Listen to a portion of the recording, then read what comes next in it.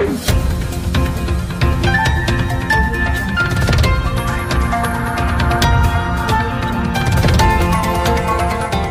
देख रहे हैं मगरा न्यूज़ राजस्थान खबरें सबसे तेज।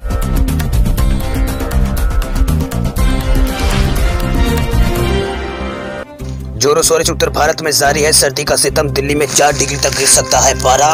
ठंड की टिटरन से बेहाल उत्तर भारत के कई राज्यों में रविवार की सुबह घने कोहरे के साथ रविवार की सुबह हुई वही राजधानी दिल्ली में सुबह। यहाँ पर कोहरा की वजह से यहाँ पर विजिबिलिटी कम हो गई, जिसके कारण लोगों को आने जाने में काफ़ी दिक्कत का सामना करना पड़ा।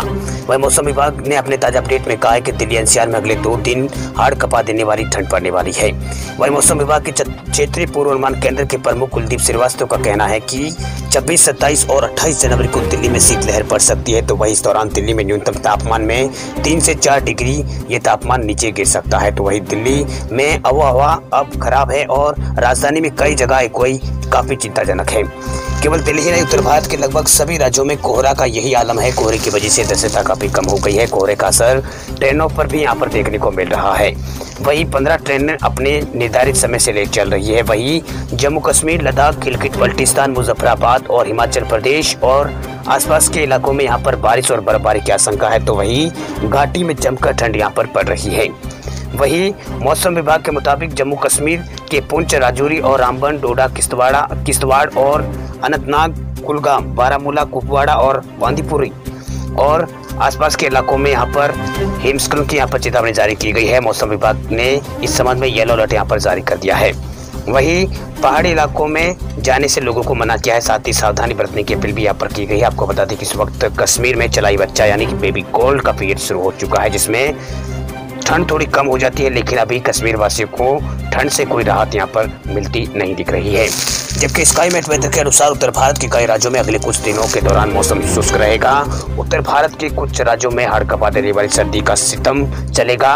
यानी उत्तर भारत के कई राज्यों को आने वाले दिनों में यहाँ पर भीषण ठंड का सामना करना पड़ेगा। वही बर्फीली हवा में पंजाब में अमृतसर, जलंधर और पठानकोट और लुधियाना, पटियाला और बरनाल से लेकर राजस्थान के चूरू, गंगानगर, भरतपुर, अलवर और हरियाणा के अंबाला, कुरुक्षेत्र और करनाल, यमुनानगर और पानीपत, सोनीपत और दिल्ली, एनसीआर, मेरठ और मुरादाबाद बेराइच और सहारनपुर, अलीगढ़ और लखनऊ बेराइच इससे प्रभावित होंगे। राजस्थान के पंद्रह शहरों का न्यूनतम तापमान दस डिग्री से कम, माउंट आबू में फिर पारा पहुँचा है शून्य पर। राजस्थान में सर्दी का दौर लगातार जारी है। राजस्थान में एक बार फिर सर्दी ने यहाँ पर ज़ोर पकड़ लिया है। प्रदेश के 15 से अधिक शहरों में न्यूनतम तापमान 10 डिग्री से कम रिकॉर्ड किया गया है। वही अधिकतम तापमान में भी गिरावट दर्ज की गई है। प्रदेश में माउंट आबू का न्यूनतम तापमान एक बार फिर शून्य पर पहुँच गया है। इसी प्रकार बीकानेर का पारा छह डिग्री से कम होकर छह डिग्री तक पहुँच गया है। वही प्रदेश के अधिकांश इलाकों में घना कोहरा छाया हुआ है। प्रदेश के अधिकांश हिस्से घने कोहरे की चपेट में से दृश्यता बहुत कम रही है। वही वाहन चालकों को आने जाने में यहाँ पर परेशानी का सामना करना पड़ रहा है। वह राजधानी जयपुर और आसपास के इलाकों में भी सुबह यहाँ पर घना कोहरा छाया रहा है। ऐसा कुछ ही हाल बीकानेर शेखावटी और श्रीगंगानगर भी देखने को मिल रहा है। वही मौसम विभाग ने नौ जिलों में अगले तीन दिनों तक यहाँ पर शीतलहर और सोमवार को चार जिलों में घने कोहरे की संभावना यहाँ पर जताते हुए येलो अलर्ट यहाँ पर जारी कर दिया है। वही मौसम विभाग के मुताबिक उत्तर भारत से एक पश्चिमी विक्षोभ गुजरने से राज्य में उत्तरी हवाओं का प्रभाव शुरू हो चुका है। वह आगामी तीन दिनों के दौरान न्यूनतम तापमान में दो से चार डिग्री सेल्सियस की गिरावट की संभावना जताई जा रही है। वही उत्तरी राजस्थान के जिलों में शीतलहर चलने की संभावना है। वही शेखावटी संभागों के जिलों में न्यूनतम तापमान में एक बार फिर चार से पाँच डिग्री तापमान गिर सकता है। वही आज और कल यहाँ पर उत्तरी राजस्थान के कई जिलों में सुबह के समय घना कोहरा छाया रहने की संभावना है। वही बीकानेर, श्रीगंगानगर, चूरू, भरतपुर और सीकर, झुंझुनू, अलवर, भीलवाड़ा और हनुमानगढ़ जिलों में कहीं कहीं शीतलहर चलने की संभावना है। वही आज गंगानगर, हनुमानगढ़ और बीकानेर जिलों के कई इलाकों में घना कोहरा भी छाया रहेगा। इसलिए मौसम विभाग ने यहाँ पर येलो अलर्ट जारी कर दिया है।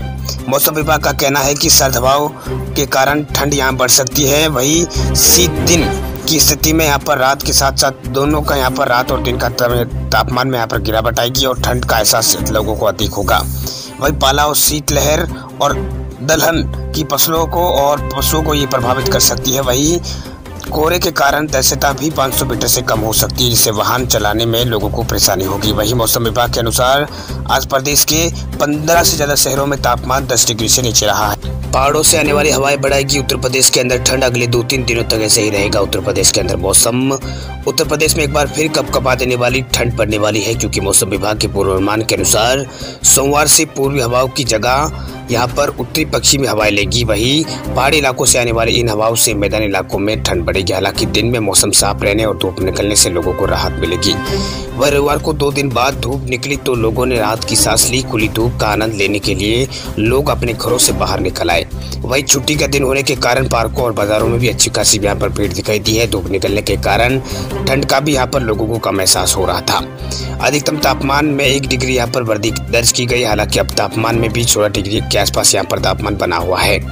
वही अधिकतम तापमान सोलह दशमलव चार डिग्री सेल्सियस यहाँ पर लखनऊ में दर्ज किया गया है। वही तापमान में शनिवार के मुकाबले एक डिग्री यह अधिक रहा है। वही न्यूनतम तापमान सामान्य के मुकाबले दो दशमलव तीन डिग्री अधिक और दस दशमलव एक डिग्री रिकॉर्ड यहाँ पर किया गया है।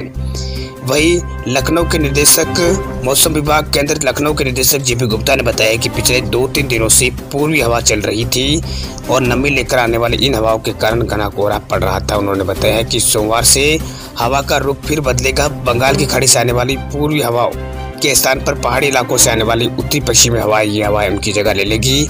इसे दोपहर बाद होने वाली ठंड, यहाँ पर दोपहर बाद चलने वाली ठंडी हवा से यहाँ पर राजधानी समेत अन्य शहरों में यहाँ पर गलन बढ़ेगी। उन्होंने बताया है कि सुबह कोहरा रहेगा, लेकिन दिन चढ़ने के साथ साथ मौसम यहाँ पर साफ़ हो जाएगा वही अगले दो तीन दिन यहाँ पर ऐसा ही मौसम रहने की संभावना है।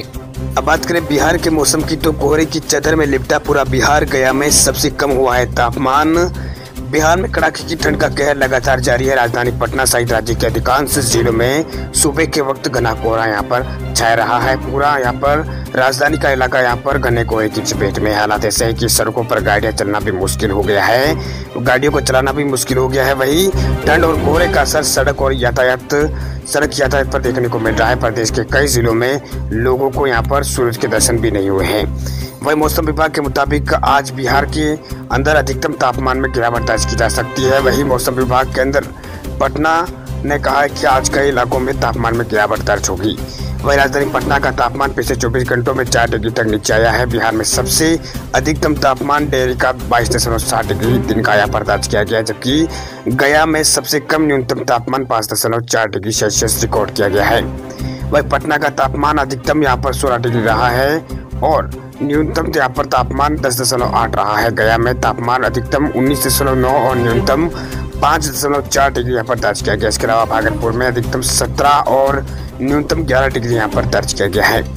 वही कड़ाके की ठंड के कारण बिहार के कई शहरों में शीतलहर चल रही है। कोल्ड यहाँ पर, कोल्ड को लेकर यहाँ पर अलर्ट जारी कर दिया गया है। मौसम विभाग के माने तो अगले दो से तीन दिनों तक मौसम के इसी तरह बिहार में बने रहने की संभावना है। वही कोहरे का सबसे ज़्यादा असर यहाँ पर विजिबिलिटी पर पड़ रहा है घने कोहरे की वजह से।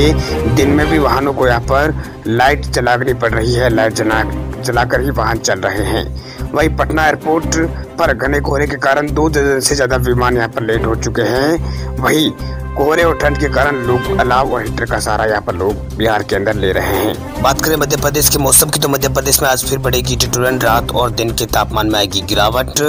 उत्तर भारत में मौजूद पक्षी विक्षोभ का असर से मध्य प्रदेश में न्यूनतम और अधिकतम तापमान में इजाफा हो गया है। इससे ठंड फ़िलहाल गायब है, लेकिन मौसम वैज्ञानिकों का कहना है कि आज से पश्चिमी विक्षोभ के उत्तर भारत से आगे बढ़ जाने की संभावना है। इसके बाद हवा का रुख बदलकर उत्तरी होने के आसार है।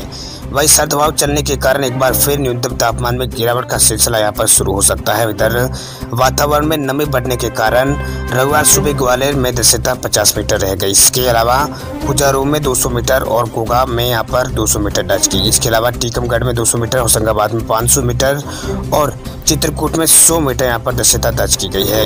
वानी, वही सतना में यहाँ पर 2000 मीटर रिकॉर्ड यहाँ पर दस्यता की गई है। मौसम विभाग केंद्र के वरिष्ठ मौसम विज्ञानी पी के शाह ने कहा है कि वर्तमान में एक पश्चिमी विक्षोभ जम्मू कश्मीर के ऊपर मौजूद है, वो धीरे धीरे इस वजह से थोड़ा आगे बढ़ रहा है। इसके साथ यहाँ पर पश्चिमी विक्षोभ का असर पंजाब और उसके आसपास के इलाकों को यहाँ पर चपेट में ले रहा है। व इसके कारण इलाकों में यहाँ पर सर्दी तेज होगी।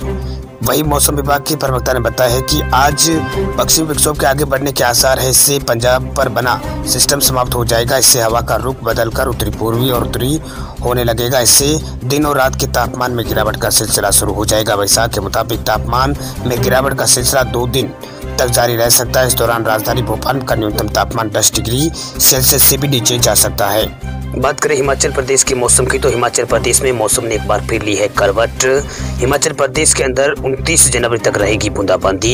हिमाचल प्रदेश के पहाड़ी इलाकों में, बर्फबारी और मैदानी इलाकों में बारिश यहाँ पर हो रही है। कई इलाकों में मौसम यहाँ पर बदल गया है, मौसम विभाग के अनुसार।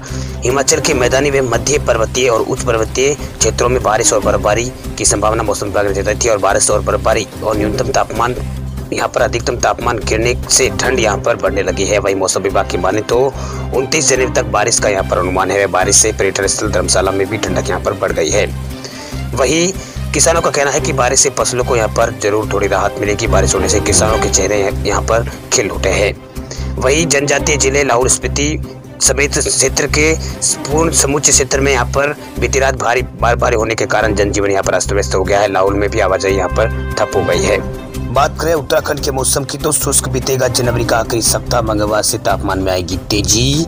पश्चिमी विक्षोभ का हालिया सिस्टम बिना किसी गतिविधि के बीत गया। वही मौसम वैज्ञानिकों ने शनिवार और रविवार को कुछ जगहों पर बूंदाबांदी की संभावना ज़ाहिर की थी, लेकिन मौसम ने यहाँ पर निराश किया है। वही मौसम विभाग ने आगामी पाँच दिनों में मौसम शुष्क रहने की उम्मीद जताई है। देहरादून के मौसम विज्ञान केंद्र के निदेशक विक्रम सिंह ने बताया है कि उधम सिंह नगर ज़िले में कई कई आंशिक रूप से मध्यम कोहरा छाने के अलावा शेष कमायु क्षेत्र में यहाँ पर जनवरी का आखिरी सप्ताह शुष्क बीतने वाला है। वही रविवार को तापमान में थोड़ी कमी आई है, लेकिन मंगलवार से तापमान सामान्य रहने के आसार बन रहे हैं। वही तापमान में उतार चढ़ाव का दौर लगातार जारी है। वही रविवार को हल्द्वानी का अधिकतम तापमान सोलह दशमलव डिग्री पहुँच गया।